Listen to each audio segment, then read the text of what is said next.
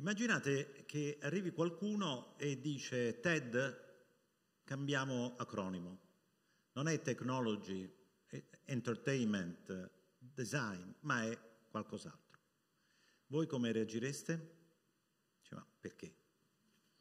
Pensate come eh, devono aver reagito il consiglio di amministrazione della BP, si chiamava British Petroleum, e con la pressione della cittadinanza, della stampa, scelsero un altro nome, Beyond Petroleum, quindi oltre il petrolio.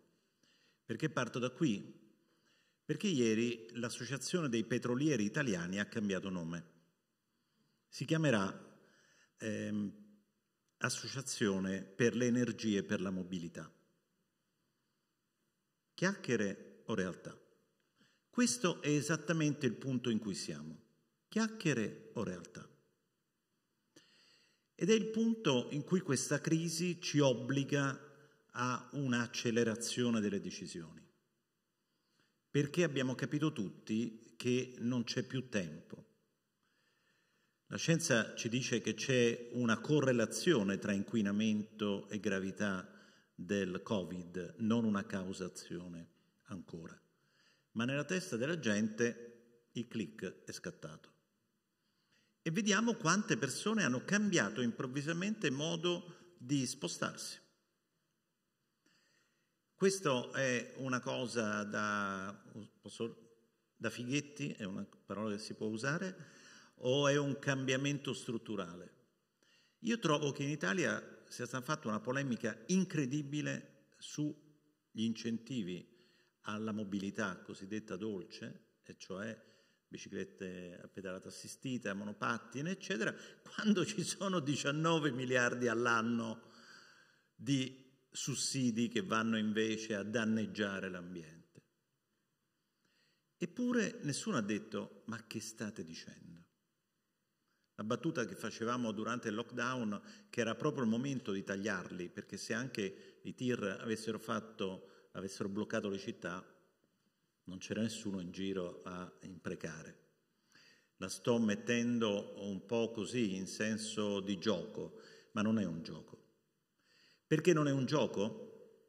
Perché l'Europa adesso con questi famosi fondi, di un fondo che si chiama Next Generation EU, non Recovery Fund, io ogni volta sono intervistato, ogni massacro chi usa questo termine, perché vi ricordate quando anni fa c'era un'attrice che faceva la, la, presa in giro della ministra della pubblica istruzione, che non riusciva a dire pubblica, infatti fu cambiato anche il nome del ministero che si chiama dell'istruzione. Ecco, noi Next Generation EU proprio non ce la facciamo. Perché? Perché vogliamo usare questi soldi per guadagnare magari qualche decimo di PIL nel famoso rimbalzo che speriamo tutti ci sia l'anno prossimo. Ma l'Europa ci dice, momento, il 37% di quei soldi deve andare alla lotta contro la crisi climatica, giusto quello che è stato detto prima, non il cambiamento climatico, la crisi climatica.